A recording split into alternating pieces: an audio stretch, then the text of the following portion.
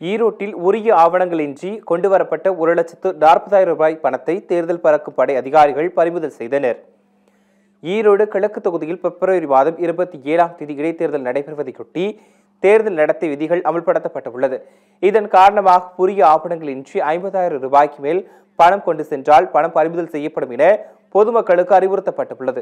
இந்நிலையில் வெண்டிபாளையம் பகுதியில் தேர்தல் பறக்கும்படை அதிகாரிகள் மேற்கொண்ட சோதனையின் பொழுது கரூரை சேர்ந்த பைனான்சியர் கவின் என்பவர் உரிய ஆவணங்களின்றி ஒரு லட்சத்து நாற்பதாயிரம் ரூபாய் ரொக்கம் கொண்டு வந்தது தெரியப்பட்டது இதனையடுத்து அந்த பணத்தை பறிமுதல் செய்த அதிகாரிகள் மாநகராட்சி அலுவலகத்தில் ஒப்படைத்தனர்.